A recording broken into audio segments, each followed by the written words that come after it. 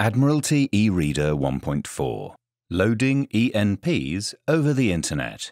ENPs that you have purchased can be downloaded directly from the Internet for viewing in Admiralty eReader 1.4.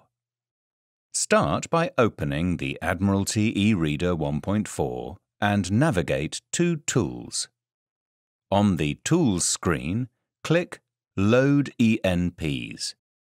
On the Load ENPs status screen, click Next. And then on the Load ENPs Set Communications page, click the Internet option, which highlights blue when selected. Now click Next. ENPs which have been purchased, for which permits were previously loaded and now require data, will need to be highlighted in a light blue boundary box. To deselect an ENP, scroll to the publication and click anywhere within the blue boundary to remove it from your data download. Users that would like to download data for all ENPs can click the All ENPs button. Clicking this button a second time will deselect all ENPs.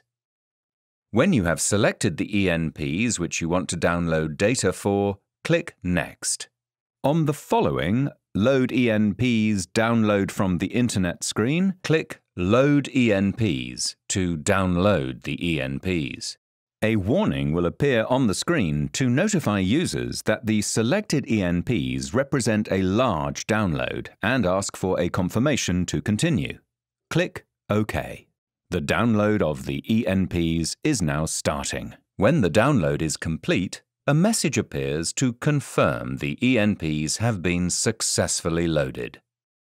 A confirmation list of all the ENP titles that have been downloaded will also be displayed. The downloaded ENPs are now available to be viewed. Click Finish.